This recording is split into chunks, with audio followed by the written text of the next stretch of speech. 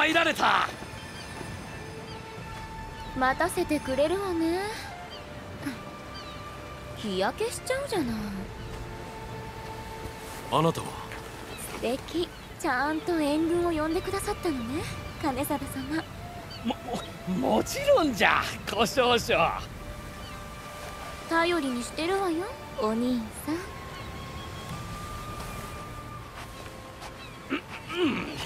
おい元親様。一条と大友の軍が攻め寄せてまいりました。すまんな。手間をかける。光秀いえ参りましょうか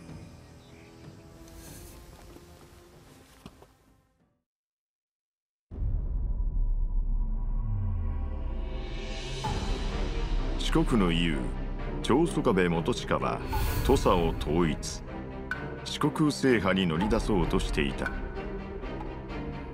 その野望をくじくべく現れたのはかつて土佐から追放した公家大名一条兼定である。兼定は九州の大友家から橘家高橋家の軍勢を借り受け土佐を奪い返さんとした。元親は吉見を通じていた織田配下明智光秀と共に土佐の安定のため金貞討伐に乗り出す。元親と金貞将の優劣は明らか。だが謎の女小少将の存在が波乱を巻き起こす。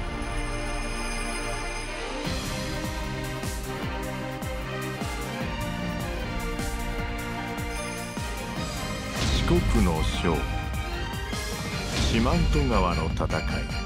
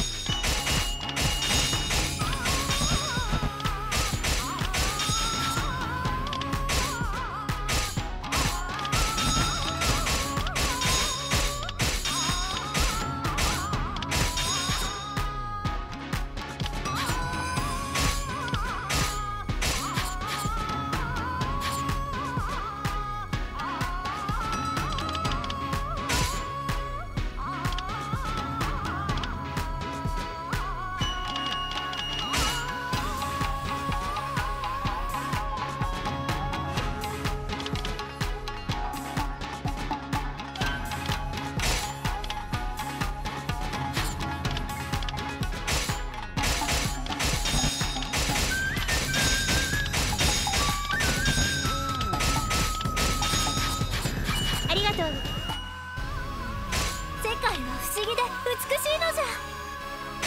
落ち着きなさい。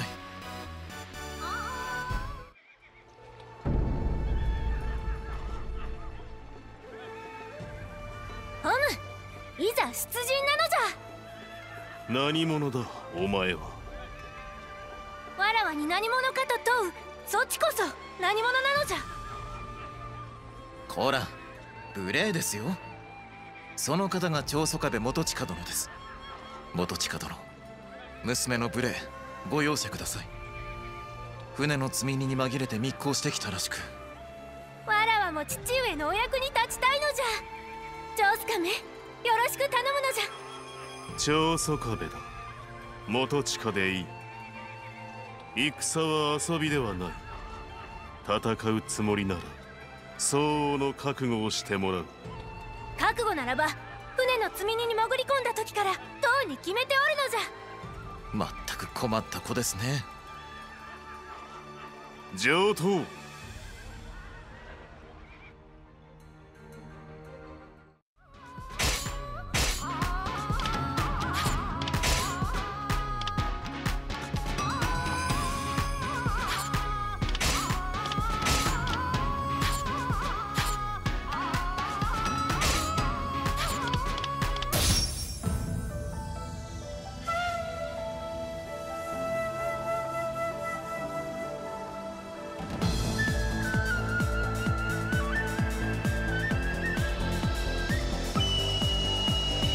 一条金貞土佐の地に勝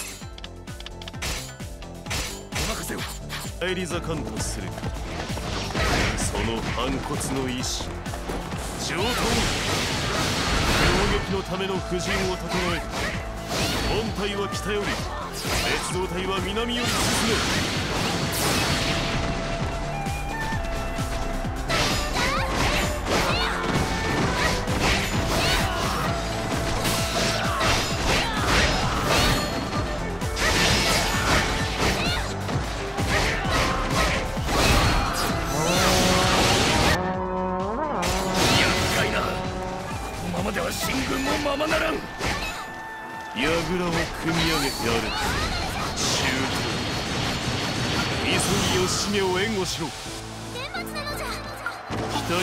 敵が陣取っている。奴らを退け。本体の道を開け。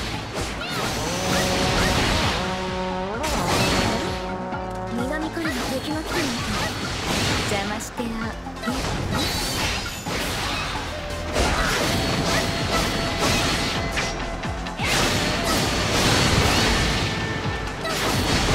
敵は南に兵を動かしているよならば先回りして排除してやる。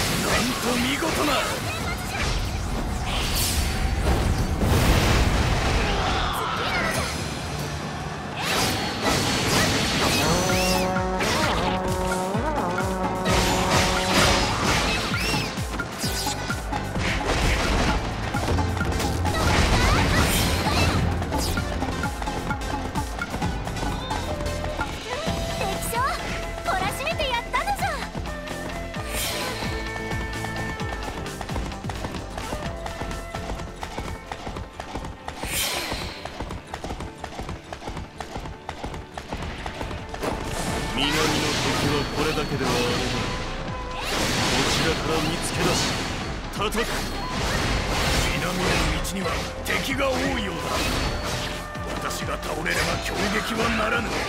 慎重に進まねば。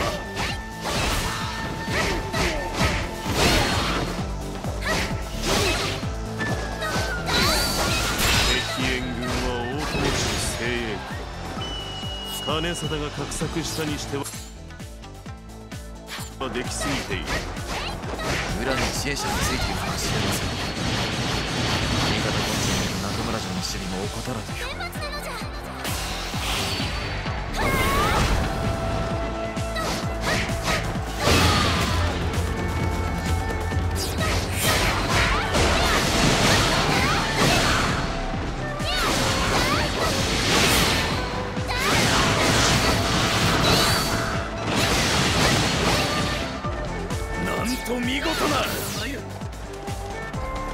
のじゃ北の道にいた敵は全て退けた。あとは別動隊の援護に集中しろ。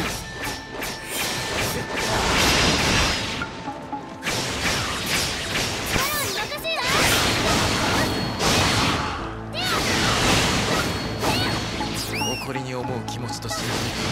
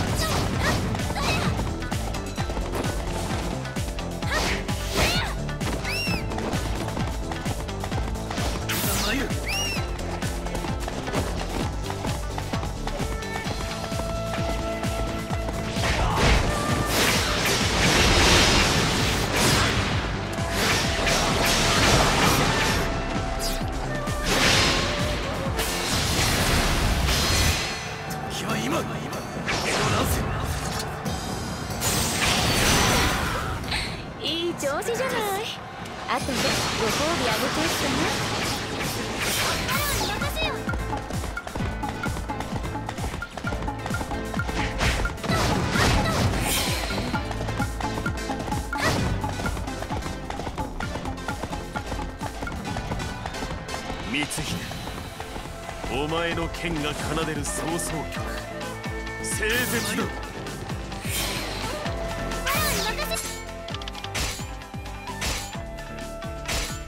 お任せを。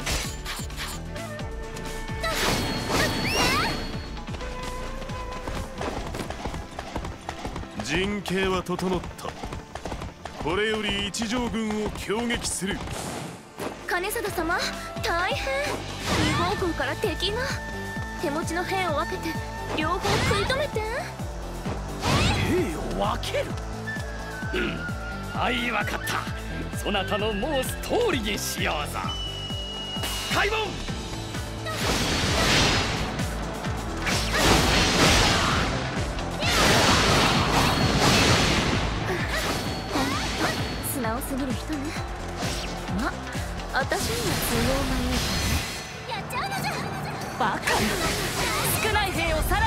どうする？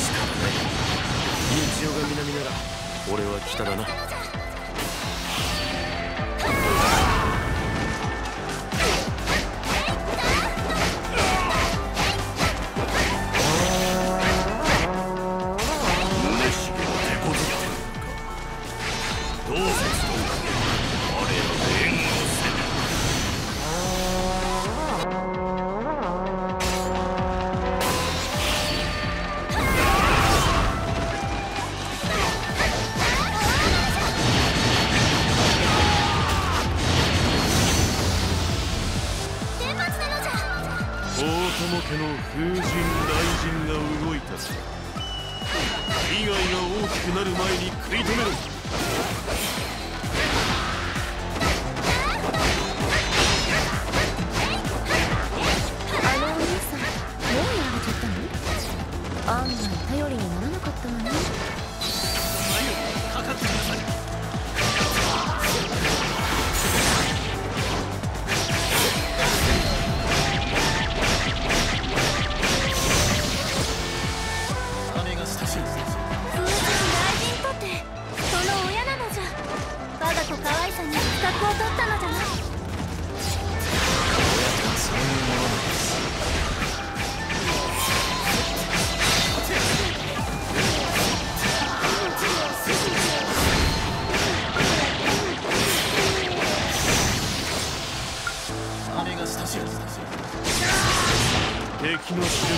排除した。全軍栗本城へ突撃するぞ。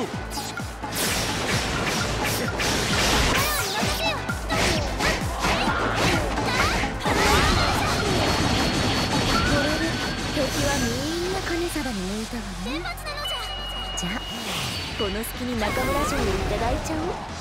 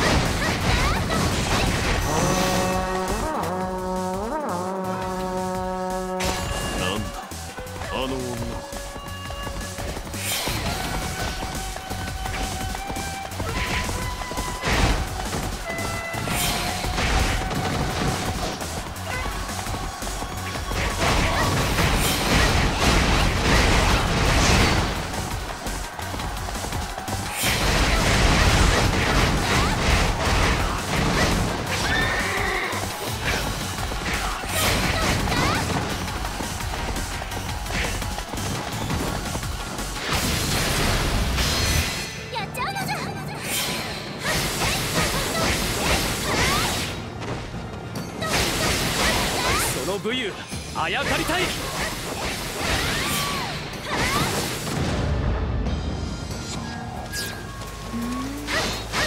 じゃない金皿程度の男じゃ太刀打ちできないわけね。保証書はいずこじゃ。俺も土地か。わしの保証書を返さぬか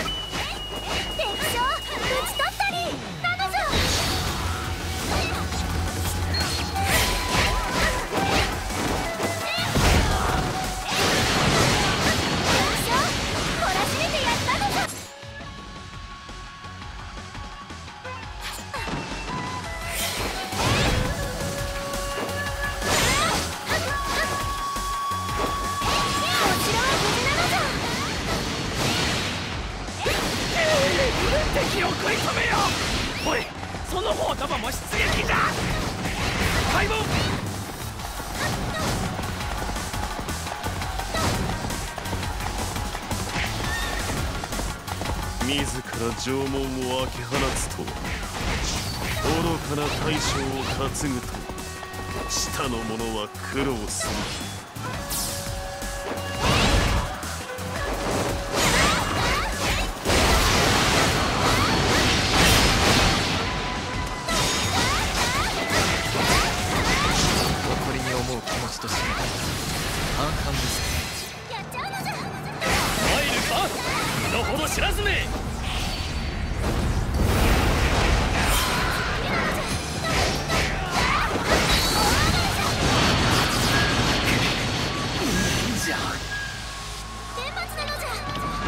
の武勇あやかりたい。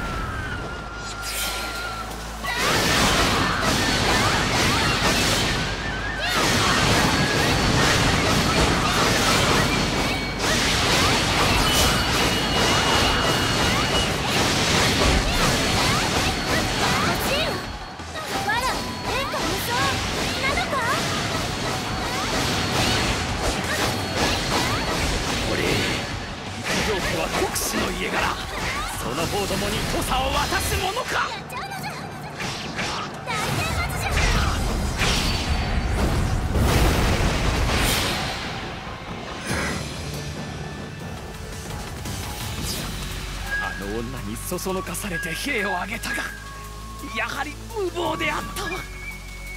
無念ぞよ。土佐統一は四国制覇の序章。俺たちの戦いは始まったばかりだ。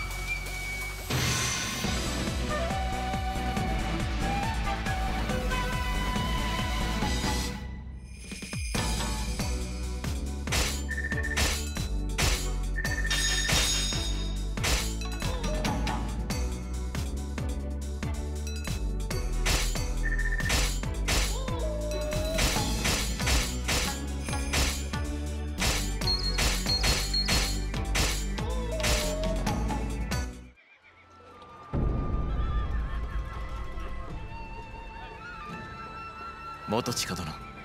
戦勝おめでとうございます。ところで一条金貞は。今頃は大友を頼って海に逃れていよう。彼を捕らえなくてもよかったのですか？奴はあの女に踊らされていたに過ぎんもはや再び兵を挙げる気概など残ってはいまい。ホム踊らされただけの一条は捕らえぬのか元親は意外に優しいのじゃな。一条の再起がないならば土佐は安泰。元親殿次はいよいよ。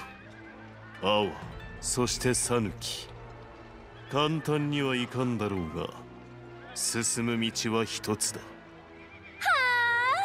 四国制覇に向けて突き進むのじゃ。いえもう密航は許しません